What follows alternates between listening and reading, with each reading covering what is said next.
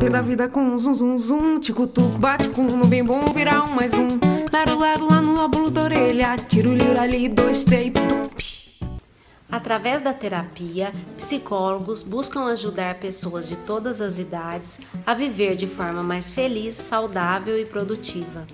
O tema do Tricô de Ideias hoje é Faço terapia e sou normal, porque pessoas normais também estão sujeitas a angústias, ansiedade, depressão, frustrações. As convidadas são doutora Ana Márcia Rodrigues, médica, psiquiatra e psicanalista, Sônia Godoy, psicóloga e psicanalista, e Maria Querubina Alves, que também é psicóloga. Quem canta pra gente é Sandra Junqueira. Ela canta a capela. Imperdível, né?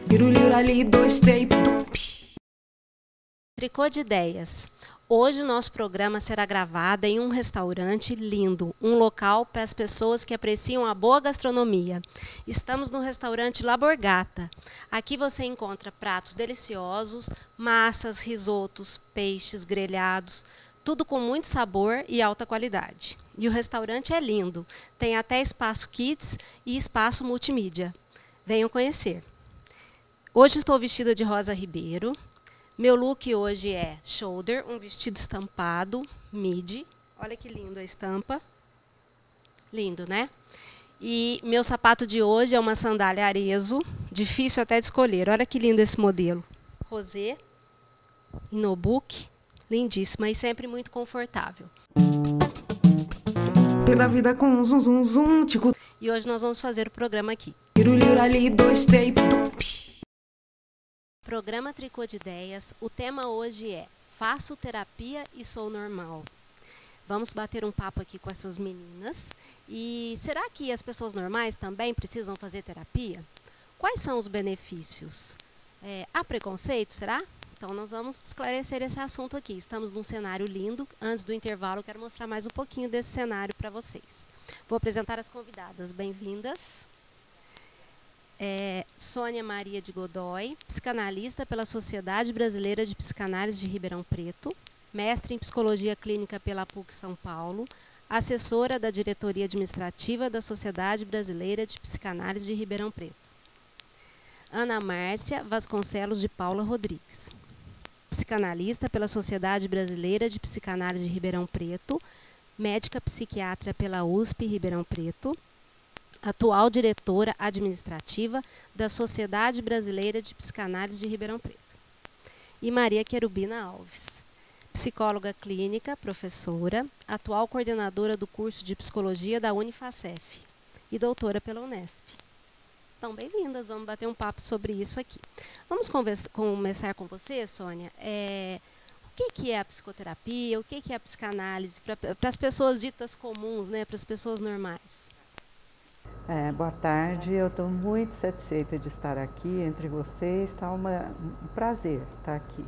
E também boa tarde para quem estiver nos assistindo. Bom, há uma diferença entre psicoterapia e psicanálise, que é a, aquela de, na, na psicoterapia, ter um, diversas abordagens que são utilizadas né, para poder alcançar o problema, o foco que a pessoa está trazendo. E quando é a psicoterapia psicanalítica, como era o meu caso antes de eu, de eu ser psicanalista, é, a gente também alcança um pouco do que a psicanálise alcança, mas não com a profundidade que eu acho que a psicanálise consegue, com a amplitude que a psicanálise dá. Então eu vou dizer o que, que é da minha paixão, que é a psicanálise, né? A psicanálise ela tem a finalidade de, entre outras, né, de desenvolver a condição emocional da pessoa, né?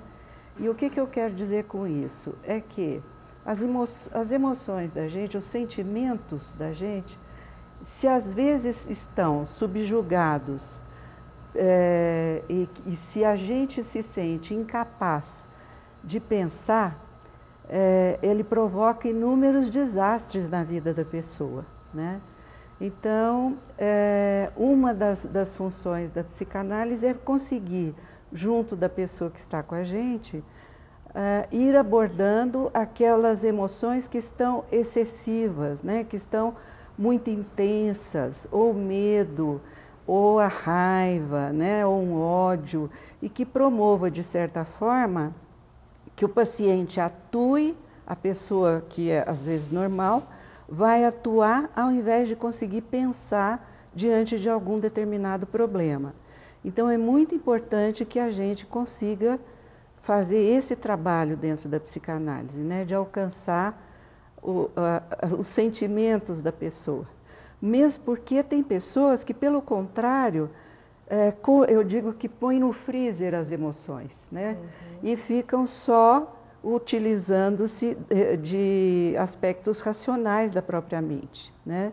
E aí também é um outro, uma outra questão muito séria, porque quando a gente, eu me lembrei enquanto eu estava preparando, aquela historinha do menino que foi o único que viu que o rei estava nu. Por quê? Porque na psicanálise também a verdade, o Freud dizia, o amor à verdade é uma das coisas que a psicanálise, é, das principais dentro da psicanálise, né? E aí, se, por exemplo, alguém consegue esconder de si mesmo aquilo que ela está sentindo, e na nossa sociedade atual isso é uma coisa muito comum, porque eu estava vendo um artigo de um coreano eh, esse, final de semana, até no Aliás da, do Estadão, e ele fala, ele é radicado na Alemanha, ele, ele chama a nossa sociedade atual de excessivamente positivista. E o que, que acontece então? As pessoas precisam estar sempre dando muitos sorrisos, sempre dizendo que estão muito bem, que tudo vai dar certo, né? E até naquele. Elas precisam desse espaço de, de, de, que a psicanálise propicia para entrar em contato com sentimentos verdadeiros Isso. e não só esses que aparecem, né? Isso. né? Naquele momento é o momento de resgatar esses sentimentos. Esse sentimento. Isso, exatamente isso.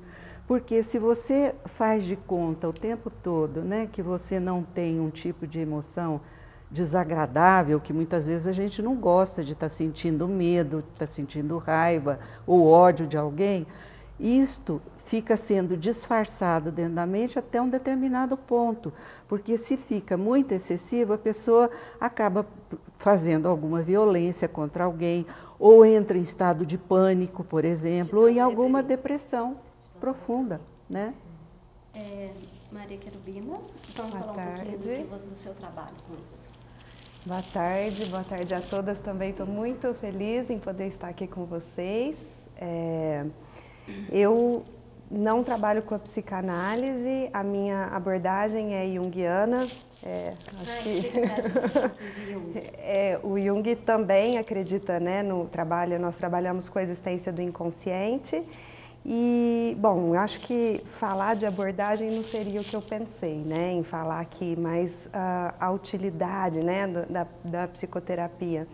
É, eu entendo, né, a, através dessa abordagem é, que fundamenta a minha, minha prática clínica, que as pessoas, acho que tem muito é, a ver com o que a Sônia estava falando, quanto as pessoas, elas... Uh, não tem um, um apoio social para que elas se descubram enquanto pessoas únicas. Pelo contrário, né, muitas vezes nós temos pressões né, sociais de nos tornarmos uh, pessoas que uh, atendam às expectativas de outros, né, que sejam uh, enquadradas em moldes, né, e, e essa é uma questão de adoecimento, né, que a gente vê a grande relação com ansiedade, né, com processos de uh, baixa autoestima. Uh, então, a, a, psicoterapia é um espaço para que a gente possa se ouvir, se olhar, né, reconhecer aspectos que muitas vezes nós uh, reconhecemos no outro, mas que dizem muito sobre nós, né? E, e como estamos propensos a julgar o que não gostamos dos outros, né? Hoje é, é uma, uma, cena comum eu vivenciei hoje que me fez refletir, né? Eu estava no trânsito e uh, é, uma pessoa passou muito rápido e se exaltou comigo, né? Então eu fico pensando o, o quanto uh, nós estamos de olho no, no que o outro faz que nos tira do nosso conforto, né, que nos atrapalha de seguir a vida como a gente gostaria, mas não estamos muito, muito abertos para ver qual é a minha parcela de responsabilidade nisso. Né? né? Doutora Ana Márcia, apaixonada por psicanálise também, uhum, né? Uhum. E além disso, uma excelente psiquiatra. Fala um pouquinho da sua paixão. Ok. Estou muito feliz de estar aqui também, Adriana. Achei muito interessante esse tema, né, provocativo que você é, bolou. Né? Sou normal e faço terapia. É, é um tema muito complexo. E, mas eu acho assim, essa oportunidade da gente lançar a questão, né, é que é o mais legal. E quem sabe depois poder ampliar e conversar mais. Bem, eu tenho a, a formação como médica, depois como psiquiatra e há um bom tempo como psicanalista. E, e eu gostaria de, de falar um pouquinho dessa diferença entre a psiquiatria e a psicanálise, porque, embora seja algo tão comum, é, algumas pessoas me perguntam. Né? Então, tanto a psiquiatria quanto a psicanálise são duas ciências que cuidam do humano e da mente e, e, e se preocupam com a saúde mental. São duas ciências distintas, é, mas não são antagônicas. Dependendo da forma como a, o profissional conduz uma análise ou trabalha com a psiquiatria, a psicanálise e a psiquiatria podem se complementar. É, a psicanálise, como a Sônia disse aqui né, para nós, é, é um processo que vai além da doença, que vai além dessa visão né, do que é normal, do que é, do que é patológico. A psiquiatria, ela é uma, uma visão médica do ser humano. Né? Então, uma visão médica é, que trabalha com o diagnóstico, com a medicação, com a eliminação de sintomas, quando esses sintomas se tornam insuportáveis, né? até mesmo com, muitas vezes com risco de vida para a pessoa. Agora, eu penso que é, se a gente puder olhar de perto para uma pessoa. Eu gosto muito daquela música do Caetano Veloso, em que ele fala assim: de perto ninguém, ninguém é normal. Chama-se Vaca Profana, né? Essa música. Então, de fato, se a gente for olhar, olhar de perto, e a psicanálise procura um olhar do, do invisível, né? daquilo, como a Sônia falou, é uma sociedade do espetáculo que nós estamos vivendo, é uma sociedade líquida em que as emoções são mal definidas, os relacionamentos amorosos são fluidos, né? não tem uma consistência maior muitas vezes. E é isso que a gente precisa ter um olhar, não um olhar para julgar, como a Bina disse, mas para cuidar. Né? É nesse sentido. É, vamos falar ainda mais sobre isso, porque esse papo é muito rico, muito importante. Né?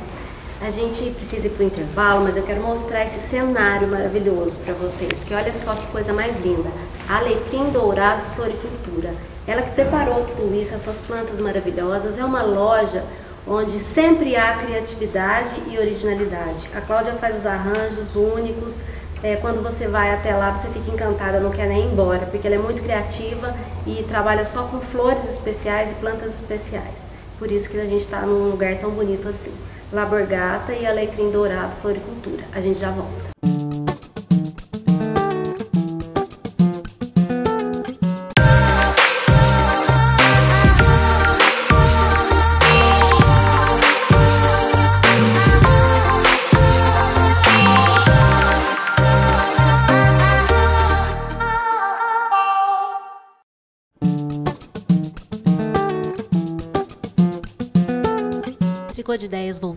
Hoje o tema é Faço terapia e sou normal.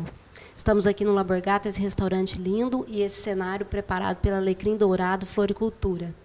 Eu queria continuar com a doutora Ana Márcia. É, esse tema, faço terapia e sou normal, é assim, pessoas comuns também estão sujeitas a conflitos, a neuroses, a, a, a angústia, depressão, porque a vida não é fácil para ninguém, é o que eu penso. Então, eu faço terapia, eu gosto, eu acho que ajuda a gente a se equilibrar para poder estar tá melhor para lidar com os problemas com as pessoas e estar tá melhor para o mundo, que já não é fácil, né? Uhum. E em alguns casos, pessoas normais, eu acredito que tem até que tomar medicação, sim. sim porque estão em situações extremas de estresse, mas às vezes as pessoas não aceitam. Uhum. Ah, imagina, eu vou tomar, não sou doido. Ah, não vou fazer terapia, não sou louco.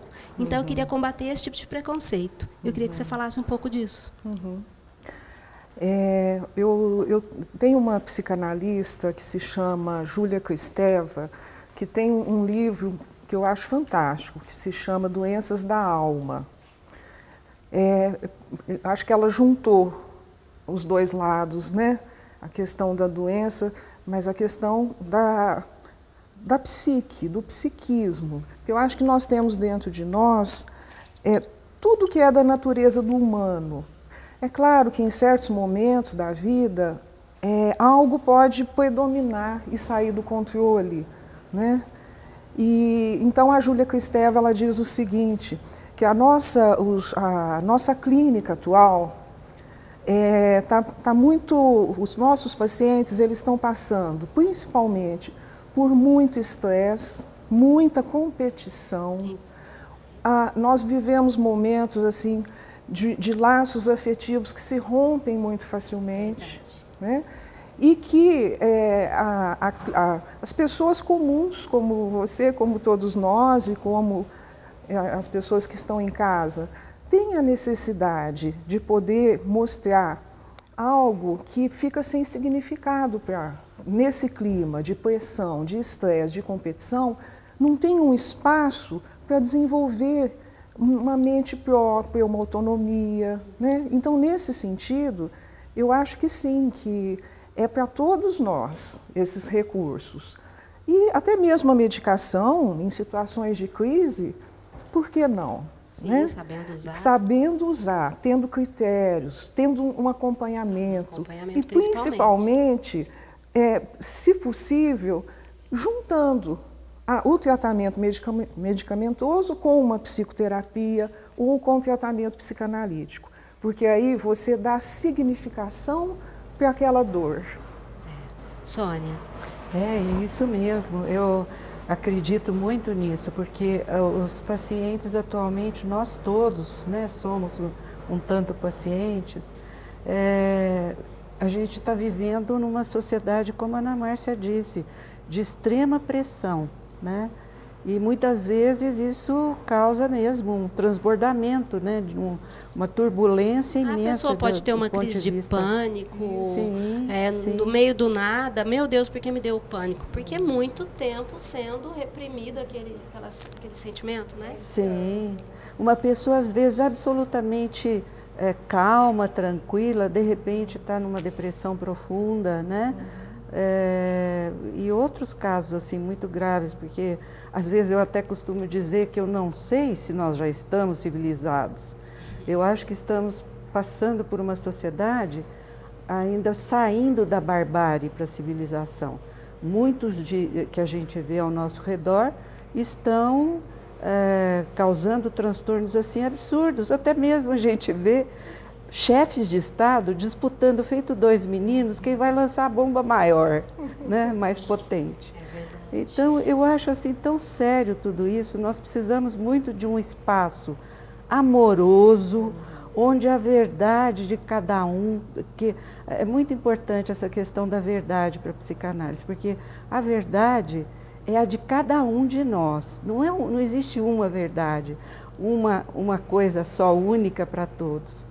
Né? É uma verdade cada um que tem o seu motivo, que né? tem o seu motivo, que tem a sua razão para ser como é a sua história.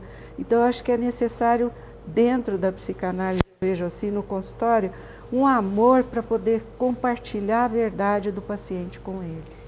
E a possibilidade de, de aceitando né, essa individualidade, a gente conseguir uh, ir de encontro a vários aspectos nossos né, que uh, a gente muitas vezes não aceita, né?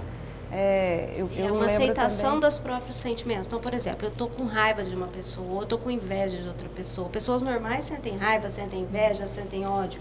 Nesse espaço de psicoterapia, elas aprender a lidar com nós isso. não somos só anjos, né? Nós temos aspectos demoníacos, inclusive. Nós somos é, essas duas facetas em nós mesmos. Enquanto a gente estiver projetando os nossos demônios nos outros, a gente não se conhece. Né? E existe muitos, a gente está falando de, de adoecimentos é, é, mais relacionados à saúde mental, mas existem uh, adoecimentos que uh, sinalizam para palavras não ditas, né? A Viviane Mosé é uma, pessoa, uma uh, poeta, né, que ela vai falar disso, quanto as palavras presas, né, elas podem se transformar em sintomas. A gente falou isso no programa Dor Crônica na Mulher.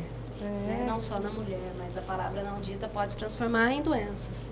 É, a psicossomática, até que ponto é mente, até que ponto somos corpo, somos tudo, né? A gente só divide para a gente conseguir estudar, né? Mas o fenômeno se manifesta junto, né? Ah, eu acho ótimo. Eu recomendo para todo mundo. Acho terapia é muito saudável e onde você se coloca e você fica melhor e o mundo precisa de pessoas que estejam bem para dar conta, né? Para ajudar.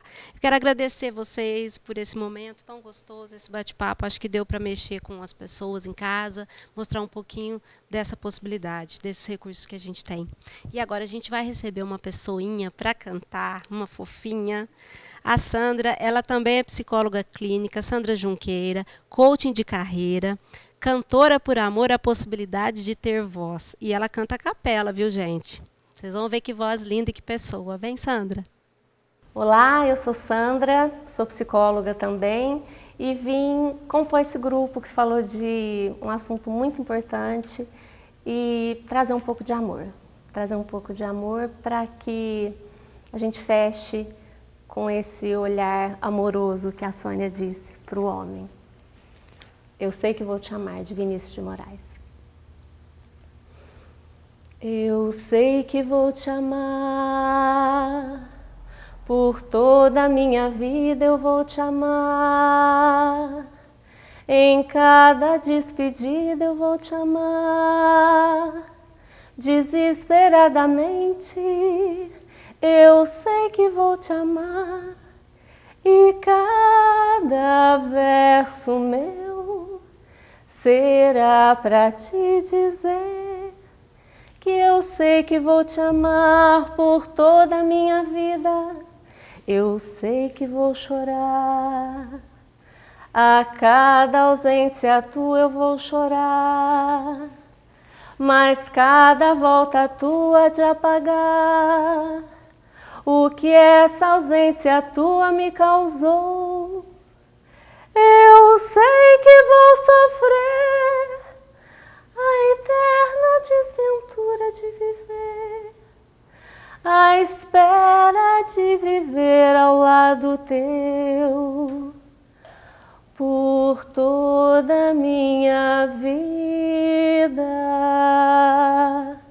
Eu sei que vou sofrer a eterna desventura de viver, à espera de viver ao lado teu por toda a minha vida.